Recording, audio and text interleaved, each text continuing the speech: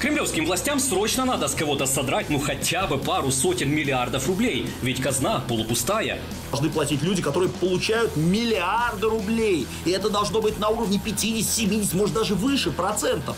И вот власти пообещали. Наконец-то все же заплатят самые-самые богатые. Представили налог на сверхприбыли. Достаточно крупные суммы. То есть общая сумма, которую планирует государство получить, э, за счет этого разового сбора превышает 300 миллиардов рублей.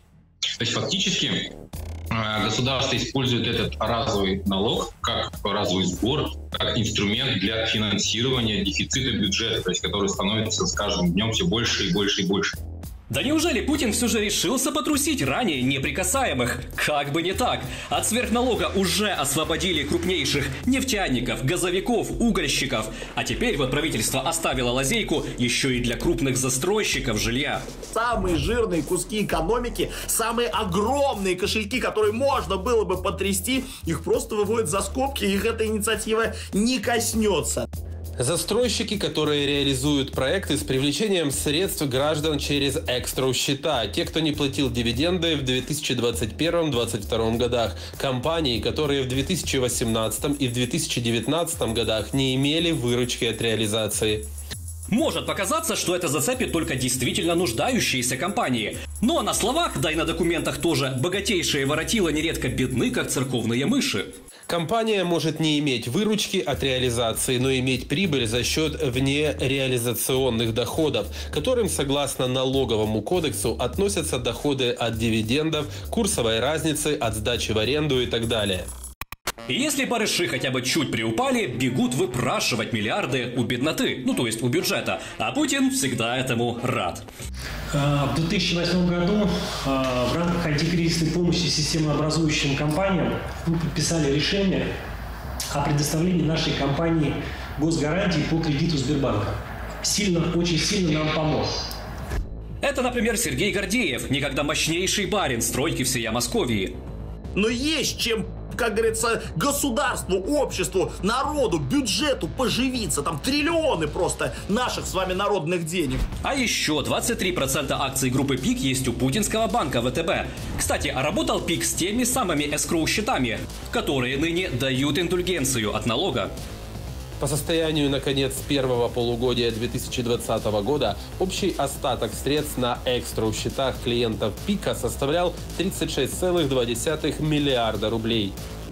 Но кризис и санкции таки делают свое дело, и в прошлом году над пиком начали сгущаться тучи. Гордеев из должности ушел, и сейчас его недвижимость скупают Ротенберги, ближайшие друзья Путина. Уж этих-то лишними налогами навряд ли потревожат. А вот и еще один спасаемый от налога – миллиардер Максим Шубарев.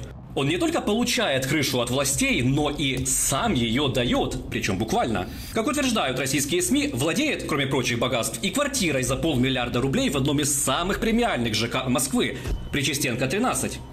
А живет там, причем вполне официально, заместитель генерального прокурора РФ Андрей Кикать. Ну и что, скажете вы, человек пустил пожить к себе бедного чиновника. Неужели столь высокого прокурора можно купить какой-то там одной квартиркой, пусть и дорогущей? Конечно же нет. Его можно купить долей в бизнесе. Кикать уже получил долю в бизнесе Шубарева. На супругу силовика, возможно уже бывшую Диану Тагирову, были оформлены строительные фирмы Эст Монолит и Энергостройтех совместно с Шубаревым.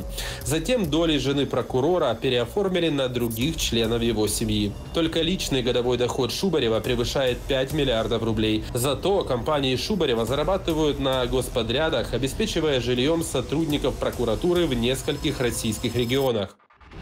И неужели таких дорогих партнеров можно обдирать на деньги? Они не могут это сделать, это их природе противоречит. Да? Столько людей воруют, хоть сажай каждого, а посадить некого, все свои. Вот такая же тема, только с новым налогом на сверхприбыль. Эксперты подозревают, уклониться от сверхналога может и фирма ГК ЛСР. Принадлежит экс-сенатору от Ленобласти Андрею Молчанову. Андрея Молчанова не случайно СМИ окрестили любимчиком Смольного. Группа ЛСР и в самом деле обладает огромным лоббистским ресурсом. Молчанов еще в 90-х поднялся на ваучерной приватизации и отхватил тогда себе целый строительный завод.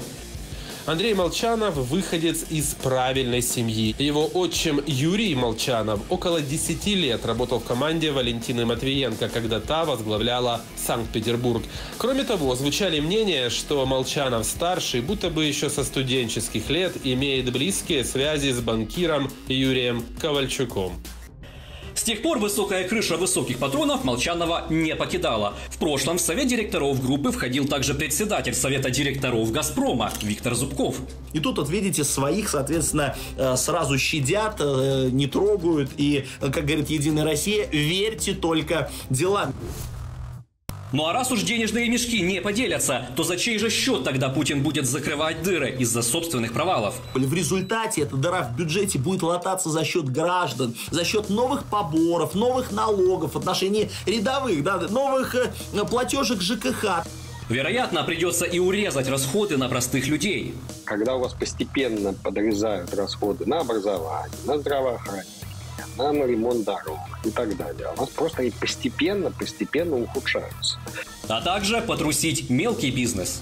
Рекомендовал бы все-таки использовать этот а, инфоповод как повод, ну, как э, ситуацию а, для того, чтобы оценить свою налоговую безопасность. Потому что это как подтверждение о том, что государство начинает с проблемы а, с исполнением бюджета, и это все может привести к э, усилению налогового контроля в целом. Потому что путинисты разделили страну на две касты. Одни всю жизнь пашут, платят и терпят, а другие только пожинают плоды и придумывают все новые способы, дабы остальные пахали, платили и терпели еще больше. И вот изменить это может только полная смена именно системы власти.